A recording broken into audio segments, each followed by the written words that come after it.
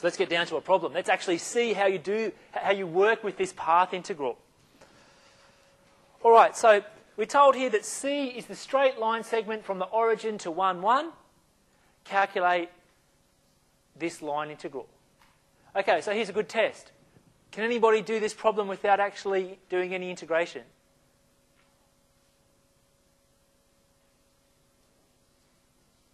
Anyone? Yes. Oh, yeah, perfect. Yeah. Okay, so it's so so can you? It's, it's a triangle. What, what do you mean when you say it's a triangle? It's got a line going up Yes. Yeah, yeah, x- yeah, x y x y plane, right? Yep. Oh, you're, you're perfect, perfectly right. Okay. What, what I do is I'll do this in the standard way, and then we'll do it in a geometric way as well. Okay. Um, well, actually, I, no, I guess I'll just show it to you right now. Okay. X plus y. That's just in the in three-dimensional space. It's a plane, right? So let's consider the plane that lies above this line segment but below this plane. Okay, there's a little picture here.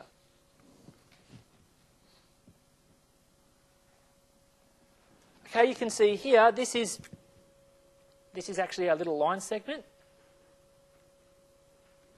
And this line here is the part of the plane z equals x plus y that lies above that little line segment. So you can interpret this as the area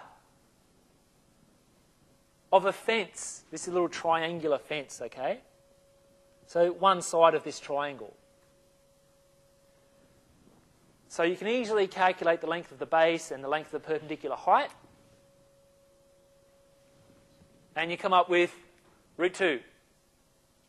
So at school you learn that the geometric interpretation of the integral is the area under a curve, right?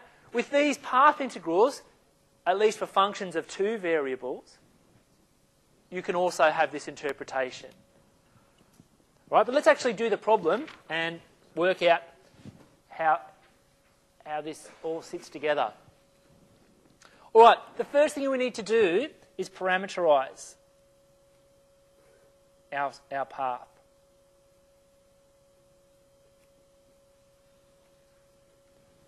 Okay?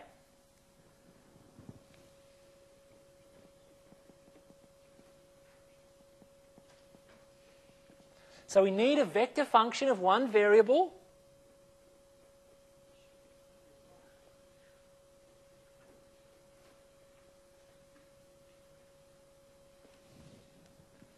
And this one will do. Well, where did that come from? Well, it comes from the following.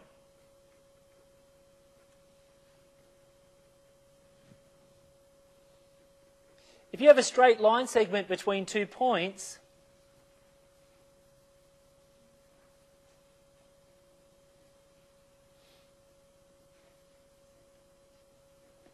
you can use this, this algorithm here. So that's the starting point, that's the ending point. And they're multiplied respectively by 1 minus t and t. And the interval is always from 0 to 1. Okay, it's a good, a good formula to remember. Right? Of course, you don't have to choose that parameterization. You can choose, choose other ones as well. All right, so what do we need? We need c dash and then the magnitude of c dash.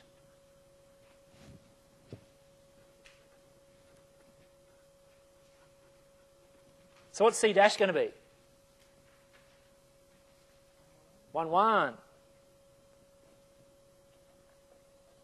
And so the magnitude of c dash is going to be root 2. Now, notice that there's no t dependency here. This is just a constant. In general, there will be t's here. Okay, this just, work, just works out quite nicely for this particular example. Okay?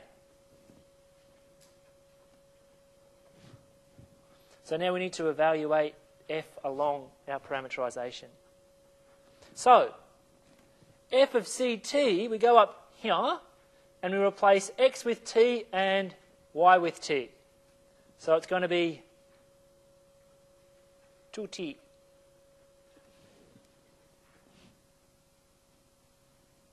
Okay, so by definition, the line integral of f, oh sorry, the path integral of f over c is just going to be 1, 0,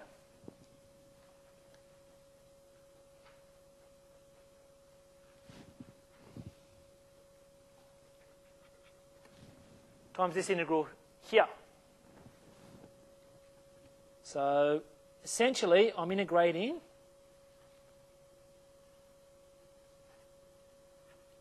this. If I integrate that, I'll get root 2. Okay, note here I've put the upper and lower limits for this particular problem. In general, it'll just be A and B. Yes, question?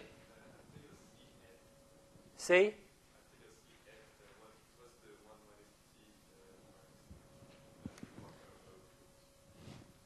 You mean up here? Yep, so what's your question? So, okay, so good, that's a good question. If you're asked to parameterize a straight line segment joining the points A and B, right? You would put the point A here and multiply by 1 minus t, and plus t times the point B, and for t between 0 and 1. That'll give you a parameterization for any line segment joining two given points. Okay, you don't have to choose that parameterization. It's just, it's just nice and simple because t equals 0, t equals 1, they're nice, nice numbers to work with. Okay? Any other questions for that example?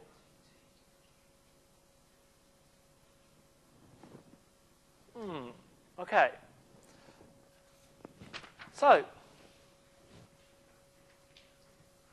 like I said before, for functions of two variables, you can think of the path integral as the area of a fence, one side of a fence. Okay, we demonstrated this with the triangle. Now, of course, this, this has a straight base.